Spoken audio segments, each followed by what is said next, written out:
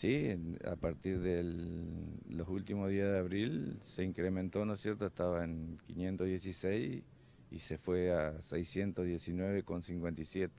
Esa es la garrafa de 10 kilos. La garrafa de 10 kilos. ¿Qué pasa cuando la gente viene a comprar? ¿Ya lo sabe o se sorprende?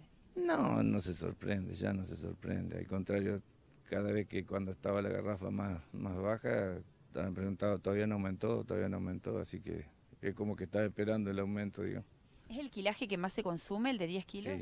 Sí, sí, sí.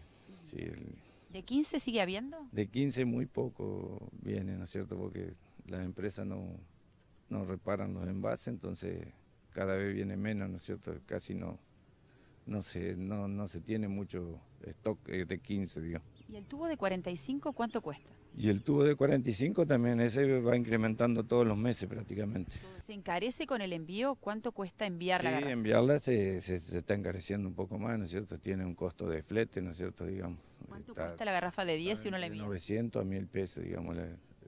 ¿Existe algún, alguna garrafa subsidiada? ¿La gente tiene eh, algún la gente plan? tiene un subsidio, digamos. Tiene un subsidio que le da el gobierno. No me acuerdo cuánto en estos momentos, pero creo que es 490, me parece que le dan por garrafa, creo, a la gente. ¿Se usa para la cocina? ¿Se usa para los eh, calefones con garrafa? ¿Para qué? Y sí, usan cocina, calefones y estufas, digamos, en invierno son mucho más las estufas, que ahí se ven que la usan más para calefaccionarse, ¿no es cierto? Oscar, ¿usted cree que va a haber algún incremento más en lo que va del invierno por su experiencia o ya con esto estaría cerrado por lo menos para pasar estos primeros meses? eso no lo sabemos, ¿no es cierto? Eso ya cuando nos avisan ya directamente nos viene con el aumento nomás. Ya. Antes nos decían con tiempo, pero ahora no. De un día para el otro ya viene y ya, ya viene con aumento, digamos. ¿Cuántas garrafas se venden por día?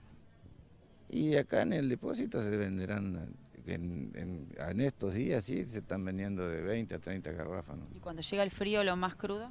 No, ahí se, se duplica, digamos. ¿usted cree que va a haber algún incremento más en lo que va del invierno por su experiencia o ya con esto estaría cerrado por lo menos para pasar estos primeros meses? eso no lo sabemos, ¿no es cierto? Eso, ya cuando nos avisan ya directamente nos viene con el aumento nomás. Ya, antes nos decían con tiempo, pero ahora no, de un día para el otro ya viene y ya, ya viene con aumento, digamos.